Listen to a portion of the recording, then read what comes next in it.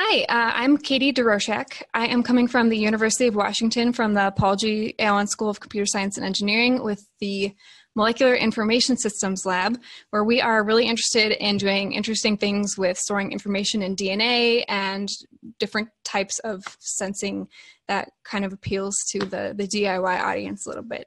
So the, the project that I'm going to talk about today is called Porcupine, which is doing rapid and robust tagging of physical objects using DNA with highly separable nanopore signatures. Or in a little bit more uh, accessible terms, we take stuff with DNA and we use nanopores to read it. That's really all, all we're talking about here. So when we're talking about molecular tags, we are using DNA to identify physical objects. This is kind of in, could be in the same world as QR codes and RFID tags, but essentially, we want to be able to tag an object with DNA, ship it or store it somewhere, and then be able to read it back on the other side and say, is this the same object? Uh, what's the information in the tag, or is it completely wrong? And some applications of this include tracking and provenance. So you might have a high value item that you want to be able to make sure is the same at the beginning and end of the transaction. Uh, secret exchange and counterfeit detection. So maybe you've got a set of pills and you only want to be able to sample a few of them at a time, uh, you could do that with a system like this. And we ended up using the nanopore MinION device to detect these molecular tags. Some of our system requirements were that we wanted this to be DIY end-to-end by non-experts and not require a full biolab. Uh, I myself am a computer scientist and this is something that I can do with maybe a little bit of supervision, so it's not too challenging. And we wanted to be able to generate arbitrary tags on demand without having to do more DNA synthesis. This is one of the most expensive parts of encoding information when using DNA. And so if we can do that ahead of time and just be able to copy it instead of um, having to generate new DNA for every piece of new information, that can save a lot of cost. We wanted to be able to decode quickly and accurately and also use minimal special equipment. So the nanopore really fits pretty well with this kind of uh, application.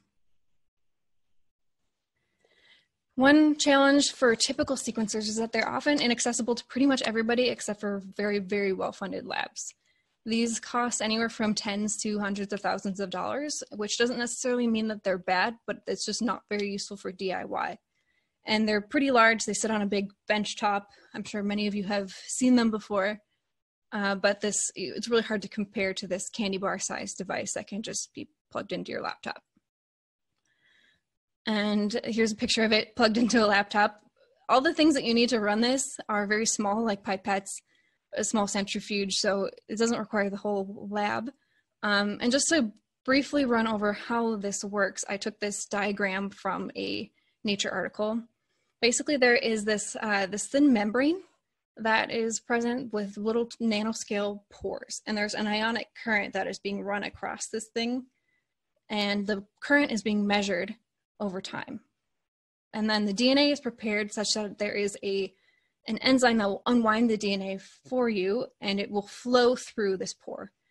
As the DNA gets unwound and, fly, and is flying through, the current changes a little bit and so you can go back and tell what DNA was in the pore based on what the current looks like. There's this little um, diagram in this corner here that shows basically um, different ionic current traces for each base. Now, typically these will all be concatenated together and won't go back up to this open channel state, but it's really just a time series of ionic current measurements instead of actually directly reading the bases. So when we are creating a molecular tag within Porcupine, what we start out with is just like any other digital tag, any RFID tag or QR code or anything is basically just digital information, a bunch of bits and ones and zeros. And each different bit is assigned a different type of DNA. So what will happen is you've got physically um, a little vial of this particular set of molecular bits that we call them.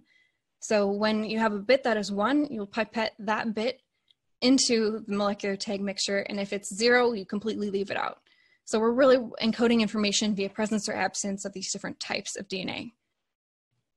Then we will apply this tag mixture to an object when dehydrated, ship it or store it somewhere, and then rehydrate the molecular tag using a buffer solution. We'll then load it into the MinION and read it out using some, some software that we created.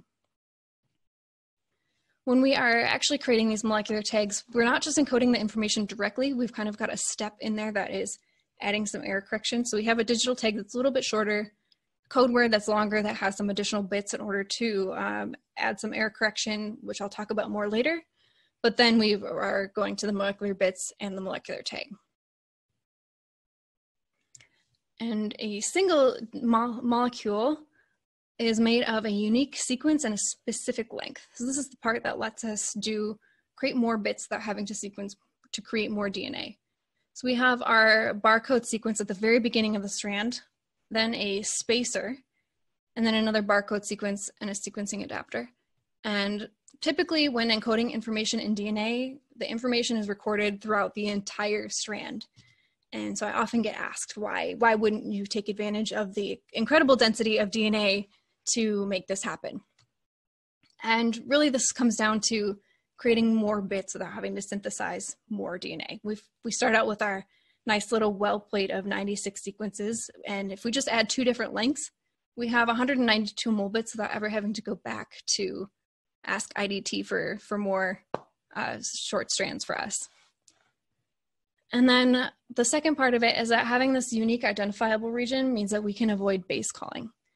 Um, so when we turn this complicated nanopore signal into bases, it takes a very, very long time and is very complex and can that is the largest source of the error in the pipeline for working with nanopore data where we actually have a much simpler problem. We're not trying to identify any dna just the dna that we know is already there. So we can turn this into a um, classification problem instead of a decoding problem that saves a lot of time and increases our accuracy pretty dramatically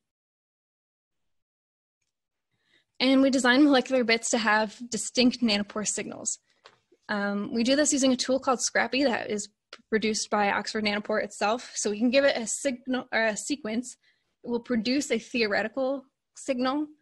And then this is the actual nanopore signal. We didn't really cherry pick one of these. They kind of all look similar, maybe a little bit stretched or narrower, but um, this allows us to really be able to design these sequences to look different, which makes our problem a lot easier.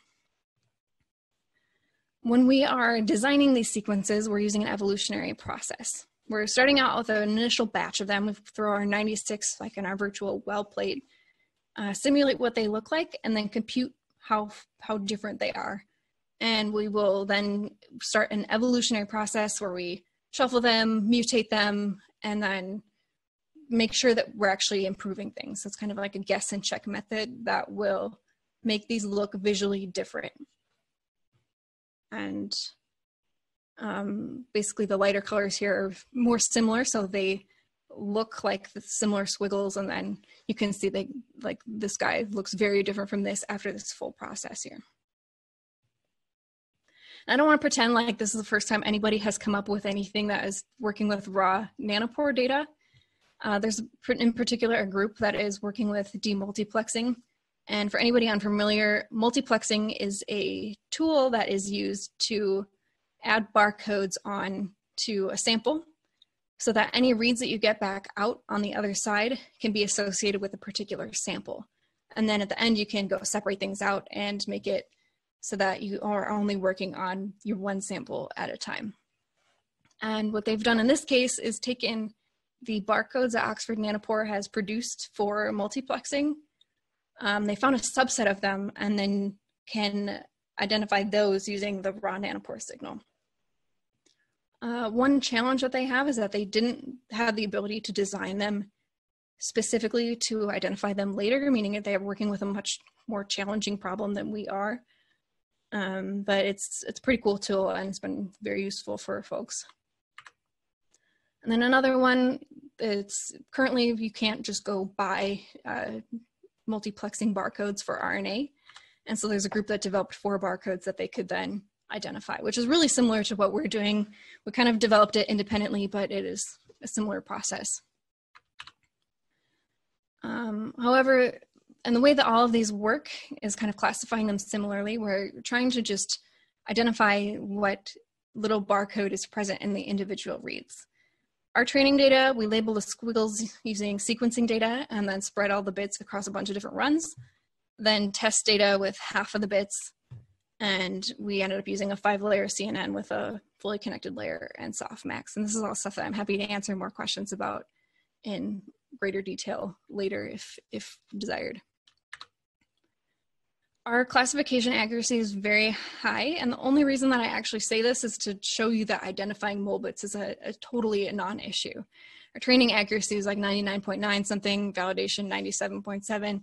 It's kind of to the point where it's not really an issue for us to be able to identify the molbits. However, um, identifying what the tag is based on the molbits can be a little bit more challenging. Now that we have our sandbox, we've got our molecular bits and we have a way to read them. The question is, what should we encode and how should we encode it? We have our 96 bits and we have kind of our framework where we might want to expand our digital tag, but we have to think about how we might want to do that. The most naive encoding scheme, of course, is mapping one digital bit to one molecular bit. And this is, of course, not ideal because one bit error means that you completely get the entire tag wrong. And so we want to add some error correction as alluded to previously. What we'll do is we'll reserve some bits for the tag and then use the rest of them to correct errors. And in our case, we picked a 32-bit message and then multiplied by a 32 by 96 random generator matrix to produce a code word, which then gets put in the molecular tag. And this allows us to get up to 18 bits wrong, which is an enormous amount without ever worrying about whether we're gonna get the, the tag wrong. This is something that can also be chosen depending on the application. It's just an example that we have for the basically our paper that we wrote. But if you wanted to take, take these 96 bits and use them in another way, there's nothing that would stop anybody from, from doing that. Uh, so just to briefly walk through encoding an actual message here, because it's a little bit hard to kind of um, to connect the two. We'll start out with our, our digital tag here. We've got, we've encoded, we had to encode our molecular information systems lab, of course. Um, and then we added our the bits for the code word. Then we'll go through the process of actually encoding and sequencing and doing all the wet lab stuff. And then what we'll get back out of the sequencing machine is a set of read counts. So how many, uh, how many times did we observe that particular molecular bit? And then we have to decide like at what point do we want to set it to one, what, at what point do we want to set it to zero. So we have a threshold here where anything that is above this line will set to one and below it is zero. And then we get a few incorrect bits. This is okay. We have fewer than our 18, so we'll still decode correctly. But we also realized that there's kind of a large variation in read counts here. And we found that this was reproducible still cannot figure out why. I'm more than happy to talk to people about why this might be happening because we've tried a million things. Um, but it's reproducible, so we are able to rescale the counts. And essentially, what happens is that we get no bit errors after doing that, and we recover our final final decoded message here. So our final results, we are talking about uh, how long does it take to actually decode a message? Do you need to run this for hours, overnight?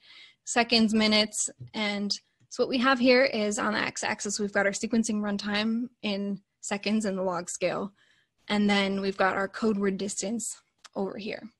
So you can imagine that in reality, you can you could possibly get all 96 bits wrong. However, because we have used um, error correcting codes, the maximum or the minimum distance between all of them is 18 bits. So if you get uh, 19 bits wrong, in some cases you'll actually get a totally different code word. So in this context with the error correction, the maximum number of bits can be anywhere from like 18 to 20-ish.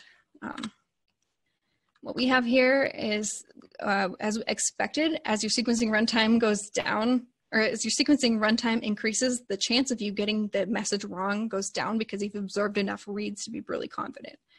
Each X here is an incorrect decoding, and then our dash line is guaranteed correct decoding with the error correction.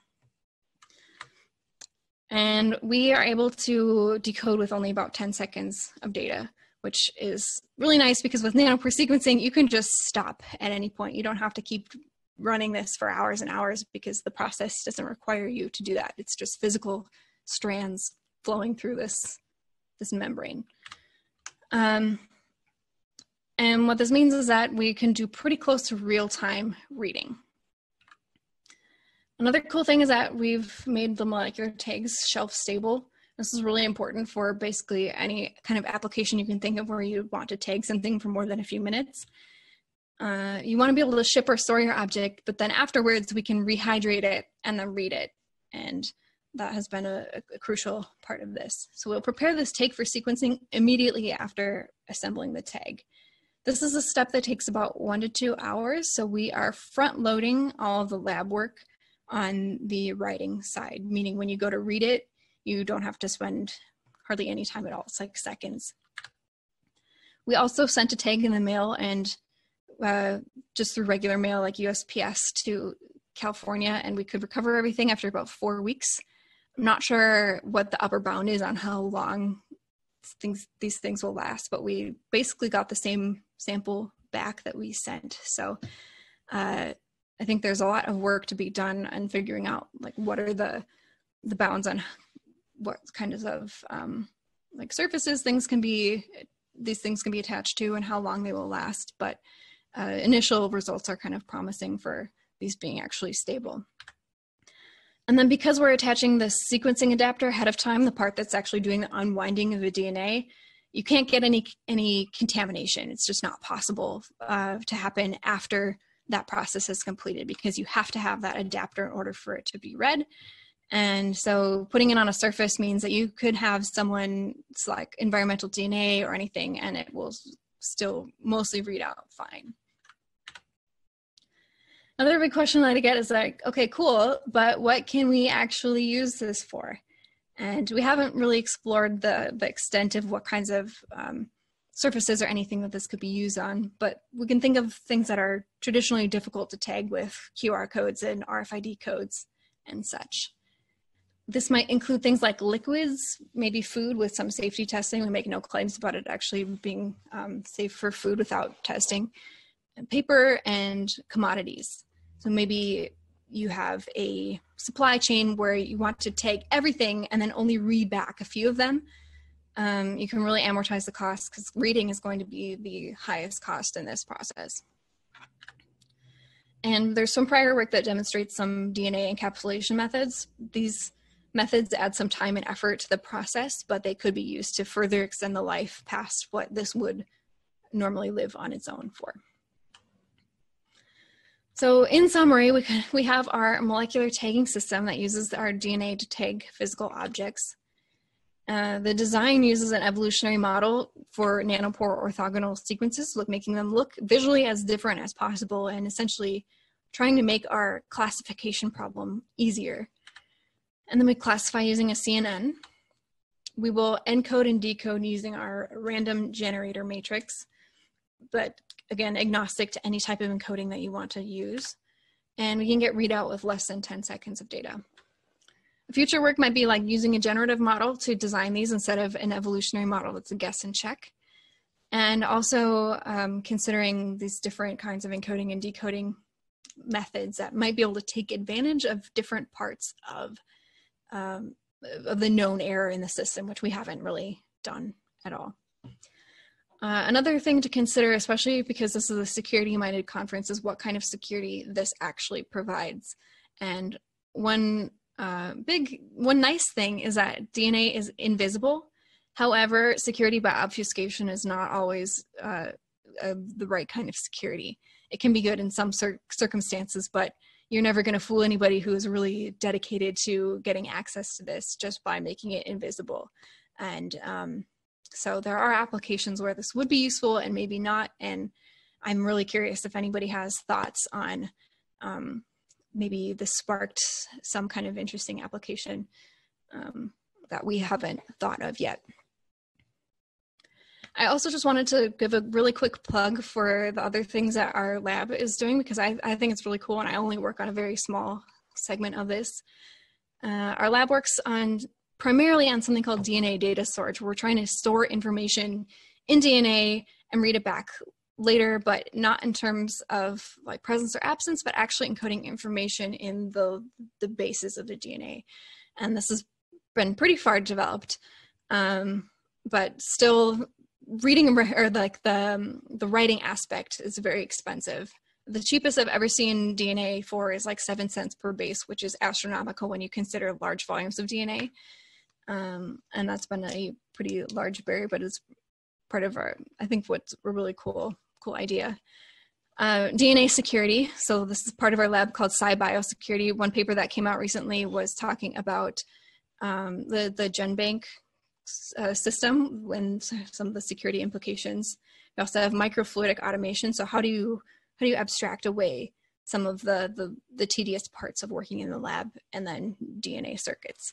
And um, of course, the nanopore sensing is what, what I personally work on.